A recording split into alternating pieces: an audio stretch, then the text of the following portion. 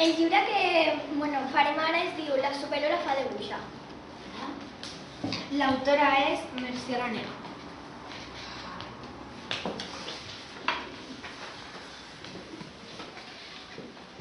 A l'ombra del llorer, les granotes i els gripaus fan una festa de disfresses. La granota Lola mira per la finestra i s'imagina com era la seva disfressa.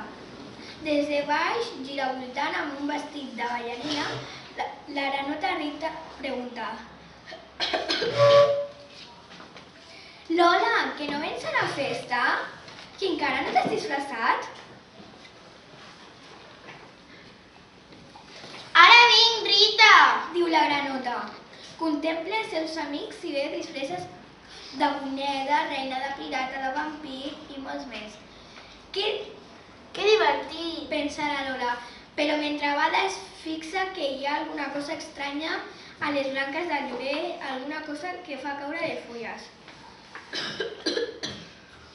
La granota Lola és molt curiosa.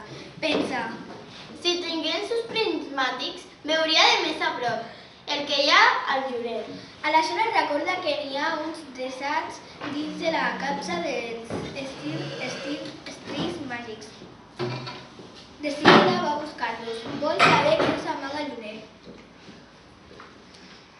La Lola regira tot el que hi ha a la capsa fins que troba els prismàtics. Torna corrents per la finestra per mirar de ben a prop les blanques del llorer. El gripau Kim que passa per sota vestit de pallasso la veu i pensa amb aquests superprismàtics segur que, que es disfressa d'exploradora. La Lola, amb la- l'ajuda dels prismàtics, observa el llorer amb, ate amb atenció.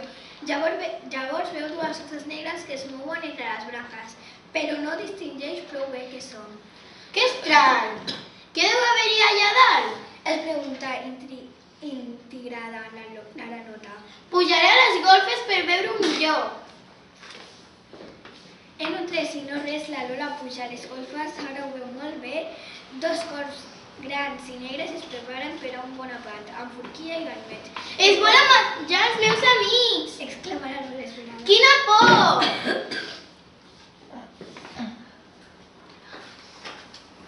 La Lola baixa corrents de les golfes i pensa He de fer alguna cosa perquè marxin aquests cots granuts.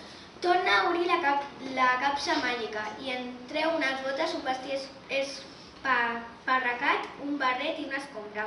Em vestiré de bruixa per espantar els cots. Exclama decidida la Lola. Es posa de seguida les botes, el vestit i el barret. Ara falta el més important. Pujar l'escombra i provar si vola. Fa uns quants saltirons i l'escombra vola una mica. Ha de saltar amb més empenta. Tot d'una se sent molt en renou a fora. Els cors amb les, eh, amb les estelles ataquen a les granotes i els gripaus i els fan rodar per terra. Amb el bec els piquen i amb les urpes els, espar, els esgarrapen. Se'ls mengen! Exclamen les granotes. Que algú ens ajudi! Criden els gripaus. La Lola asseguda sobre l'escombra fa un supersalt i surt corrents per la finestra com si fos un coet, sobrevola els cors, després ja terra els empaita a cops d'escombra. Els dos cops juguen espantats. Ui, prou, bruixa, prou! Quins nyonyos que ens sortiran! Es queixen adolorits. Granotes i gripaus, criden alarmats. Mireu! Els cols han marxat! Però ara hi ha una bruixa que ens atacarà amb l'escombra. Quina por! Ah, no és una bruixa! Diu la Rita. És la Lola que veu una superescombra voladora. Esteu. Esteu tots bé? Pregunta la Lola.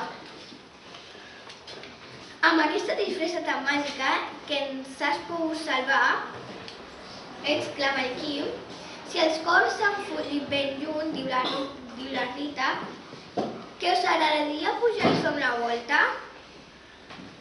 Sí, sí, moltes gràcies. És fantàstica. Ets la Super Lola. exclamen tots. Un aplaudiment.